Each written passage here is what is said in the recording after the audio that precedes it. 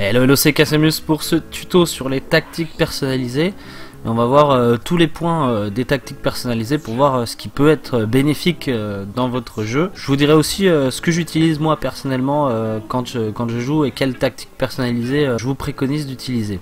Alors la vitesse, ça va être euh, vraiment euh, la façon que vous allez utiliser pour euh, remonter le ballon vers l'attaque. Donc la vitesse, une vitesse rapide, vous allez être dans l'obligation entre guillemets d'utiliser un jeu rapide en une touche de balle, dès une 2 alors qu'un jeu plus plus lent, vous allez prendre beaucoup plus votre temps et vous allez vraiment être plus attentiste dans la manière que vous allez utiliser pour remonter le ballon. Donc je suis dans les entre les 70 et les 80. Laisser à 50 n'est pas une mauvaise idée. Alors un petit point sur lequel je vais insister là euh, concernant la vitesse qui est quand même important, euh, ça concerne la vitesse et aussi celle, euh, celle juste après, donc la, tactique sur les passes, c'est qu'il va falloir, il faut vraiment choisir quelque chose que vous allez vraiment utiliser. C'est-à-dire que ça semble bête comme ça, mais si j'utilise une tactique rapide et que je joue lent, euh, je vais être, euh, je vais vraiment avoir des soucis euh, à construire mon jeu. Voilà, les passes. Donc, quelle tactique de passe je vais utiliser pour remonter le ballon? Passe longue. voilà, ça va être un jeu vraiment plus direct les passes longues. Ça ne veut pas dire seulement passe longue, c'est-à-dire les, longs, ballons. c'est un jeu direct en fait. C'est un jeu beaucoup plus direct. On va essayer de trouver de la défense directement les attaquants. Voilà pourquoi ça s'appelle passe longue. pour les passes courtes. Là, on va être beaucoup plus dans la construction, dans la création. Euh, un, défenseur va essayer de trouver un milieu de terrain. Euh, le milieu de terrain défensif va essayer de trouver le milieu de terrain offensif qui lui-même va essayer de trouver l'attaquant. Voilà, c'est un jeu beaucoup plus créatif. C'est plus créatif, mais c'est beaucoup plus difficile à utiliser évidemment. Donc si vous êtes un joueur euh, qui a des difficultés dans la construction, un jeu plus direct, donc en passe longue, sera beaucoup plus bénéfique. Moi personnellement je vais plutôt choisir euh, donc les passes courtes très très bas. Là je veux vraiment que ce soit identifiable, que mon jeu soit vraiment identifié par cette euh, stratégie là. Donc je vais choisir 20 euh, voire moins, mais 20 me semble un bon compromis. Je veux vraiment que mon jeu soit très marqué sur les passes courtes. Après 50, faut tester, soit on utilise un jeu direct, soit on utilise vraiment un, jeu de construction. Faut choisir entre les deux. Après entre les deux, c'est vraiment vraiment hybride, euh, c'est vraiment assez bizarre, mais euh, bon, après, euh, chacun trouve chaussure à son pied de toute façon. Donc pour le positionnement, en fait, on va différencier deux types de joueurs. ceux qui vont privilégier les côtés, ceux qui vont privilégier les centres, en grande partie, et ceux qui vont privilégier la remontée du ballon sur une plus grande partie du terrain, au milieu de terrain, changer de côté, etc. Donc pour les centreurs, euh, je pense qu'un positionnement organisé est préférable car votre formation sera faite, euh, vous aurez votre milieu gauche à gauche, votre milieu droit droite, vous voulez que ces joueurs-là restent sur les côtés et puissent être disponibles pour euh, pouvoir centrer. Vous voulez aussi que votre attaquant ne décroche pas et que votre attaquant qui va effectuer les têtes euh, reste bien en pointe.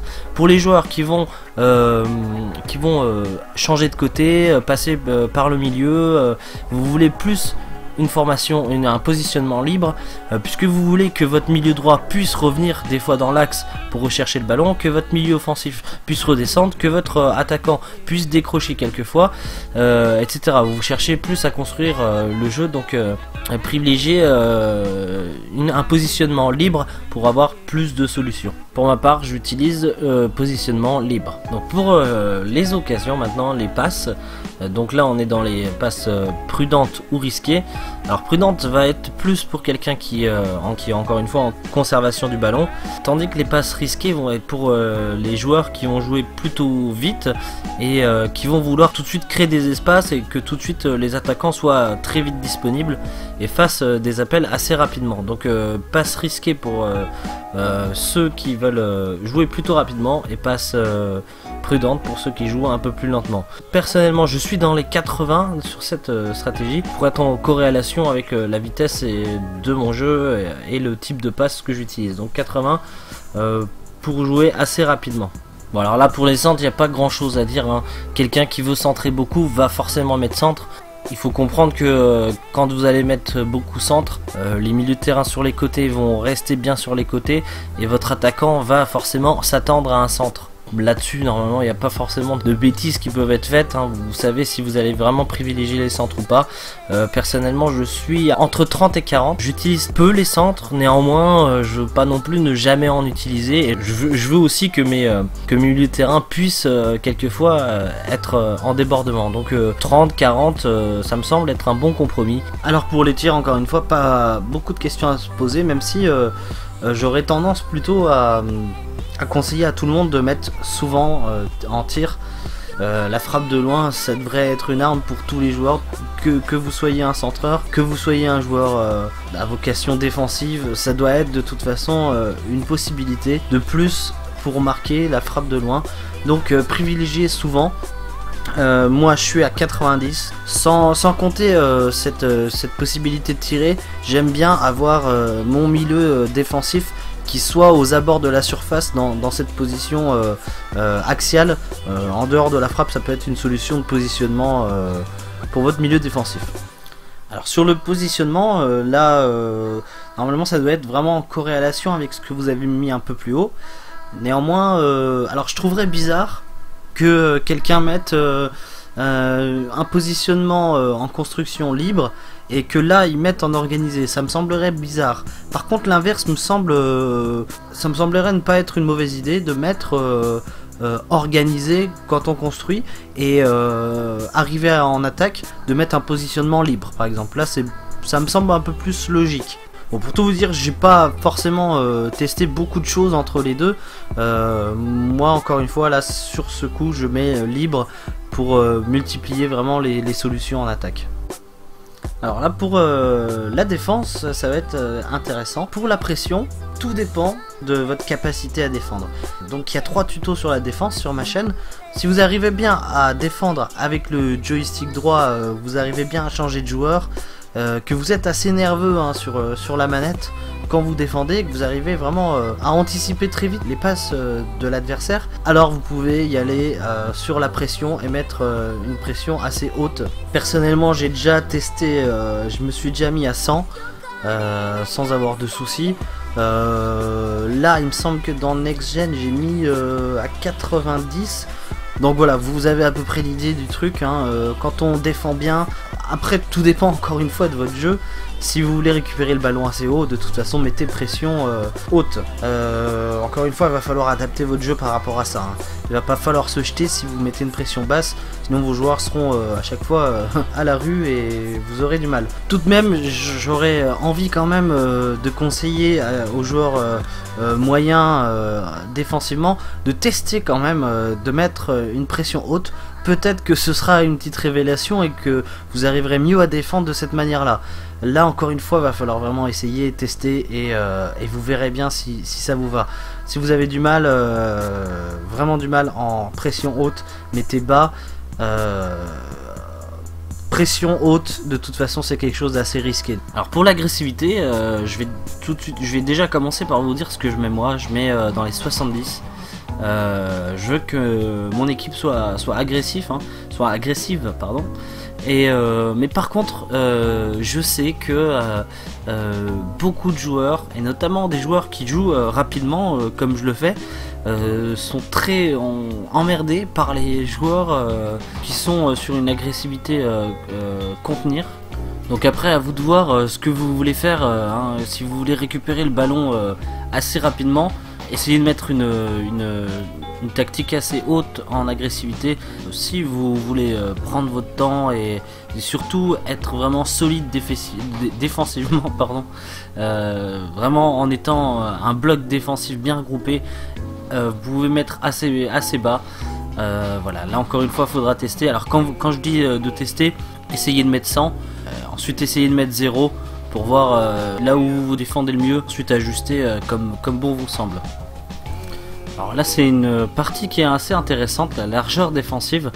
Euh, pour tout vous dire, j'ai pas vraiment de choix. C'est la seule euh, tactique où je suis vraiment complètement indécis là-dessus, parce que les deux, les deux façons, euh, les deux façons de défendre ont, leur point, point faible et leur point fort. Donc pour vous expliquer clairement, alors le point fort d'une d'une défense large qui va occuper une grande partie du terrain, c'est que euh, vous allez euh, avoir très peu de, joueurs adverses qui vont se retrouver seuls. Le, petit défaut, c'est que ça va étirer la défense. Entre vos défenseurs, il va y avoir plus d'espace. Donc ça, ça, peut, être embêtant. Par contre, vous allez couvrir un maximum de terrain. Donc pour couvrir par exemple les ailes, ça, peut, ça peut être très très utile une défense large, ça, peut être pas mal. J'aime bien aussi donc la défense serrée. Pourquoi? Parce que là, on a vraiment euh, un style de défense en, rouleau compresseur. Euh, nos, défenseurs, euh, nos, milieux de terrain vont complètement se resserrer. Donc là où votre adversaire aura le ballon, il va se retrouver avec plein de joueurs en face de lui et un joueur qui aura une vision de, jeu assez réduite ne va pas forcément tout de suite euh, voir que euh, euh, sur le flanc opposé, il aura un joueur tout seul. Parce que c'est ça le souci avec ce type de défense.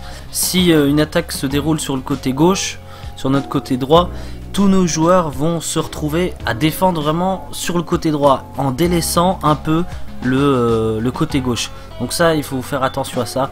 Là, c'est vraiment à vous de voir. Hein. J'ai essayé les deux et les deux ont vraiment des points forts et, des points faibles. Si vous n'avez pas de soucis à défendre, normalement, euh, ça, c'est juste une question de préférence.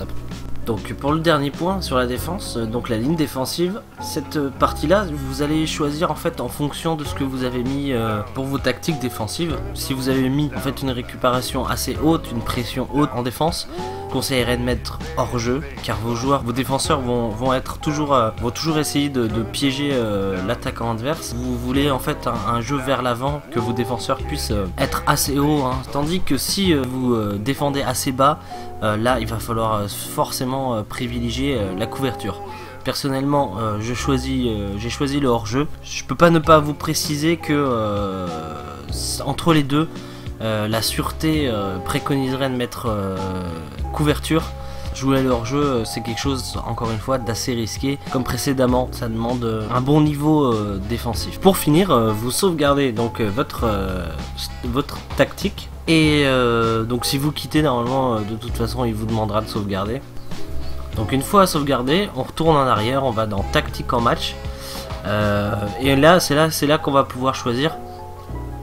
Donc d'assigner une touche, enfin une touche, une, une flèche à notre tactique perso. Donc on peut forcément euh, mettre euh, plusieurs euh, tactiques perso différentes, ce qui peut être très utile. Une fois en match, il suffit d'appuyer tout simplement une fois sur la flèche du bas et de rappuyer sur une des flèches qui correspondra à la tactique qu'on veut utiliser. Normalement, une fois cela fait, vous n'aurez pas, vous n'aurez pas à faire ça pour toutes les équipes que vous allez choisir évidemment. Euh, ce sera euh, appliqué normalement à chaque fois que vous choisirez une équipe, ce sera appliqué euh, par défaut de la sorte. Bon voilà, donc là ce fut un long tuto et j'espère que ça vous sera utile vraiment hein, parce que ça prend de plus en plus d'importance dans les FIFA, plus les FIFA progressent, plus les tactiques deviennent intéressantes. Et voilà, donc on se retrouve très bientôt pour une prochaine vidéo, je vous dis ciao ciao